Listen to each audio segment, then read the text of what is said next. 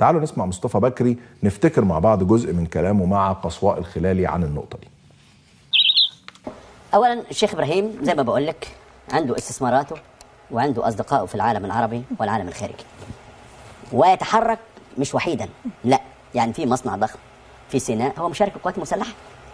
شركة هلا هو ليس الوحيد فيها هو له 40% ومشايخ سيناء معاه و60% لجهات أخرى. أجي في شركة هلا مثلا اللي بتسير الكلام الكثير.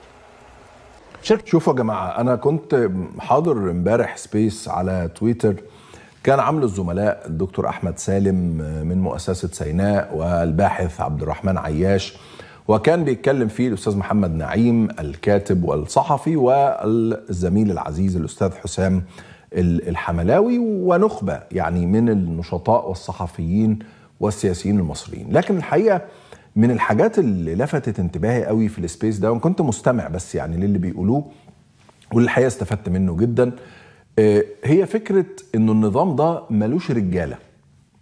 النظام الحالي ملوش رجالة.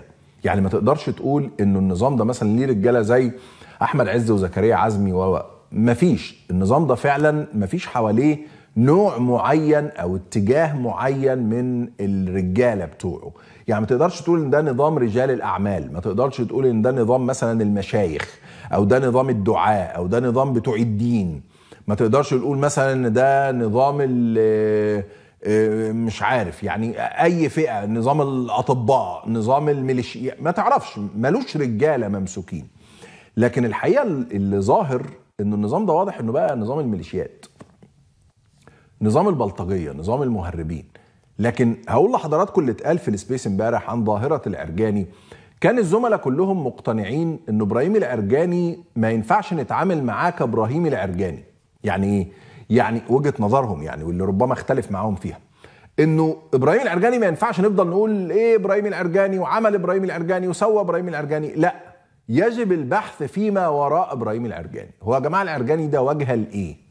هو العرجاني ده وجهه لمين؟ هو العرجاني ده إيه اللي وراه؟ العرجاني ده عايزين منه إيه؟